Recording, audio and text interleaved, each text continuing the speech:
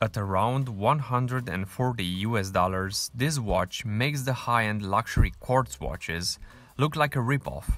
But don't get me wrong here, I'm not throwing mud against high-end quartz watches, and you will see why.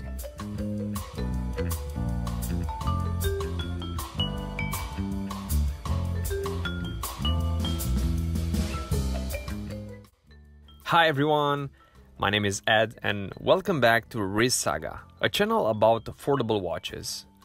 Today I decided to talk about the best alternative for a high-end Japanese watch like Grand Seiko. Seiko is well known for their mechanical watches and for the year 1969 when they released the first quartz powered watch that started the quartz crisis in Switzerland and that made all watch manufacturers from that period to lose customers because of the astonishing quartz accuracy.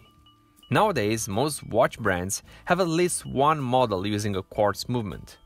Seiko is one example and they continue the history that they started in 1969.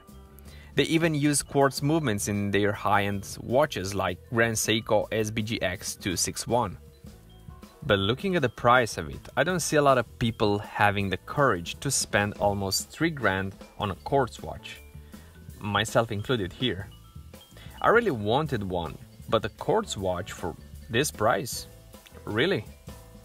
So, I kept looking for alternatives and I found the best Grand Seiko looking quartz watch from Seiko. The model SUR 319P1 model that not only that looks like the Grand Seiko SBGX 261, but also gives you a great value for the money.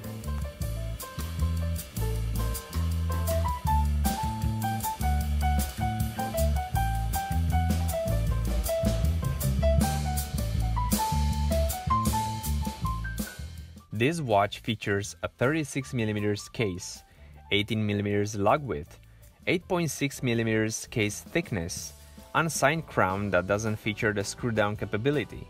The crystal material is a sapphire as stated on the case back, making it able to stay unscratched longer than the movement will ever be able to run.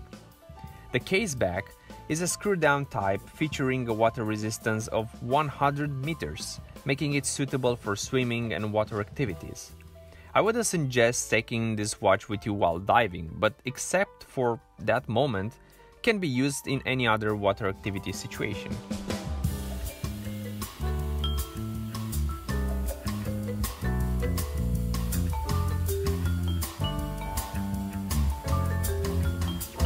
Seeing the watch from another perspective, the curvature of the case can't be unnoticed. This helps hugging the wrist in such way that makes the watch amazingly comfortable.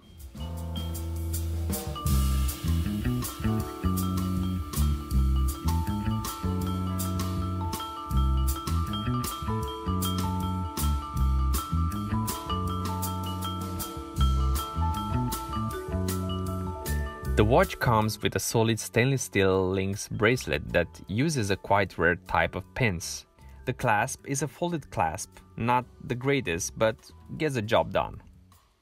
The only drawback here are the micro adjustments that are only two, making it quite difficult to adjust the watch properly on your wrist in certain situations and certain wrist sizes.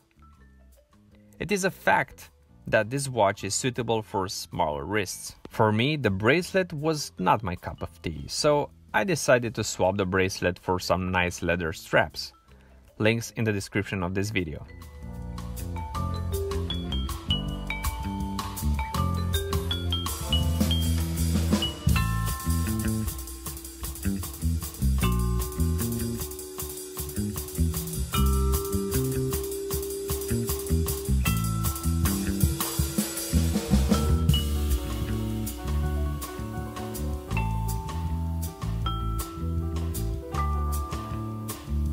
Now, let's talk about the dial that creates all the confusion with the Grand Seiko.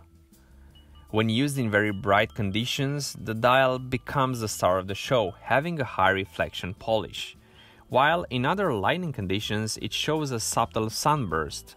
The dolphin hands and the indices are not highly polished like on a Grand Seiko, nor they have Zaratsu polishing. But they are reflective, and who has that vision to tell exactly if they are Zaratsu polished or not? During the night, Seiko thought that adding a tiny bit of lume on the hands and right above the indices would be a great idea.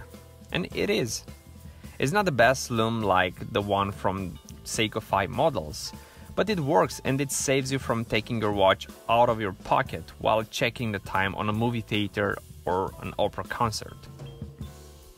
The Seiko SUR 319P1 features a day display framed by a chrome square. Not only that it makes suitable for dressier situations, but also for everyday situations where a date function is quite a nice feature making you avoid taking your smartphone out of your pocket for getting such information. One feature that I've rarely seen on a quartz watch is the anti-magnetic sign printed on the caseback. The caliber is a 6N52 model, a reliable quartz movement used by Seiko and many other entry-level watches that they manufacture. Don't take the word entry-level too serious. This doesn't mean that it is a cheap movement. It may be cheap to manufacture, but it's not cheap. On my watch, in terms of accuracy, it even outperforms from that stated plus minus 20 seconds per month to plus 2 seconds per month. At this point, I might have convinced you to buy it, right? So, is this the right watch for you in the situation that you would consider spending all your savings on a quartz Grand Seiko? I would say yes. For a person that wants a high-end feel for 140 US dollars quartz watch, this watch is the best choice. Being a quartz watch, this 36mm timepiece only needs a battery change from time to time, not a full service. Whether you need a watch for your EDC or for special occasions, this Seiko is the best investment for your time. If you agree with me, write your thoughts about it in the comment section. And don't forget to subscribe and see you in the next one. Bye!